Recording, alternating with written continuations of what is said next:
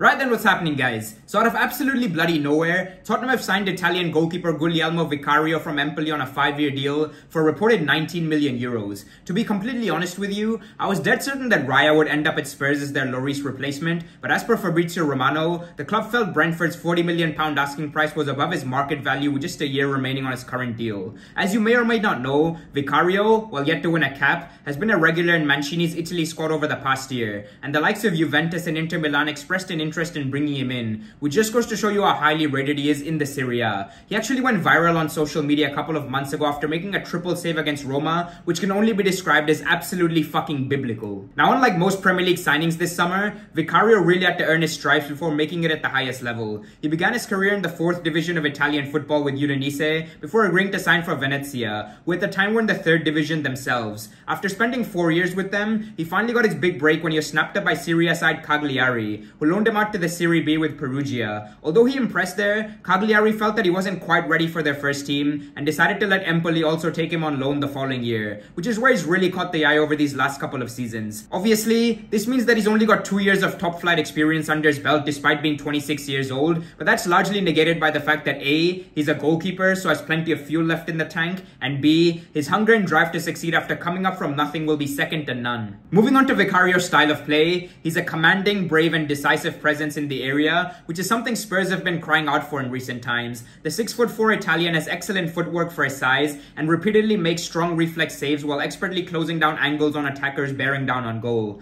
However, he does have a tendency to parry shots rather than catch them, which is something he'll certainly have to work on moving forward if he is to be a success in the Prem. There's only so much information available about this fella online, so I'm not going to drag this video on any longer, but the only things that I have to say are that one, I feel like someone slightly more established would have been a better shout given the importance of the position, and two, I hope this is an inspired signing that proves me wrong. As always, I'd love to hear your thoughts on this down below, and I'll catch you in the next one, folks. Peace.